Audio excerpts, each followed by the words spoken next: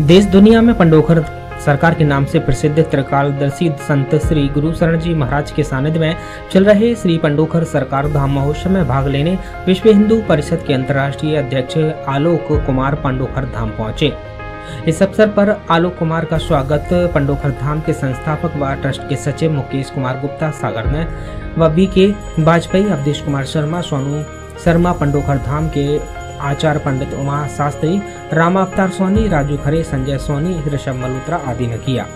पंडोकर धाम के सचिव मुकेश गुप्ता ने उक्त जानकारी देते हुए बताया कि वरिष्ठ अधिवक्ता एवं विश्व हिंदू परिषद के अंतर्राष्ट्रीय अध्यक्ष आलोक कुमार वंदे भारत एक्सप्रेस से झांसी पहुँचे और दतिया होते हुए वह पंडोकर धाम, जहाँ उन्होंने श्री बालाजी पंडोकर सरकार के दर्शन कर पूजन आश्रम में स्थित सभी मंदिरों के दर्शन किए।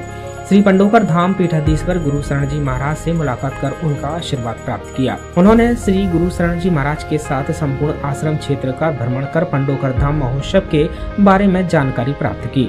श्री आलोक कुमार लगभग चार घंटे धाम में रुके रहे।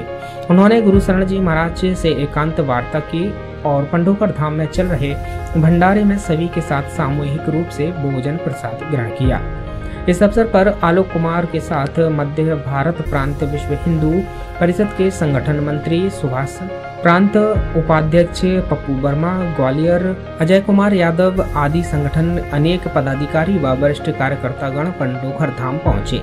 श्री आलोक कुमार ने गुरु शरण जी महाराज के साथ आश्रम प्रक्षेप का भ्रमण करते हुए निर्माणाधीन भव्य एवं विशाल श्री राम दरबार मंदिर के निर्माण कार्यों का भी अवलोकन किया। इस अवसर पर आलोक कुमार ने कहा कि पंडुखर धाम आने वाले भविष्य का बहुत बड़ा तीर्थ बनने जा रहा है। एक दिन ऐसा आएगा जब लोगों को एहसास होगा कि पंडुखर धाम की यात्रा किए बिना उनके द्वारा किए गए सभी तीर्थ दर्शन अधूरे हैं।